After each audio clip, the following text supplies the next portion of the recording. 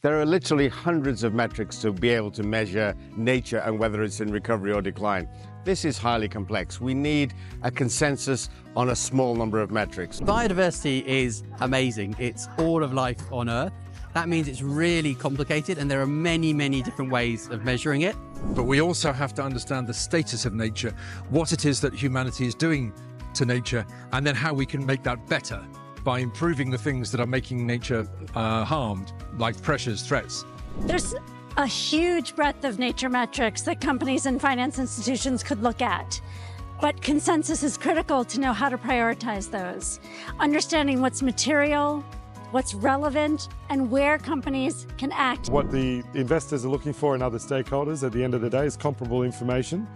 And so it's upon all of us to work in a collaborative way to arrive at a set of metrics that provides that comparability in, uh, in reporting and in transition planning that's going to result from this work. Building consensus on state of nature metrics is super important because it allows us to be more efficient and to scale the finance that we bring to nature and moving from millions of dollars mobilized to billions of dollars mobilized for Target 19.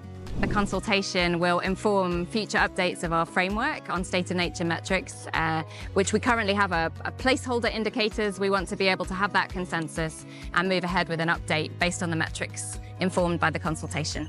We all need to be reporting up to make the biggest impact and have the greatest alignment across sectors because ultimately it's not going, nature doesn't respond sector by sector. Nature is responding as one global system. We really need to accelerate the transition to nature positive and an agreement and consensus on state of nature metrics is a really good way uh, to encourage corporates and financial institutions to get there and to get there quickly.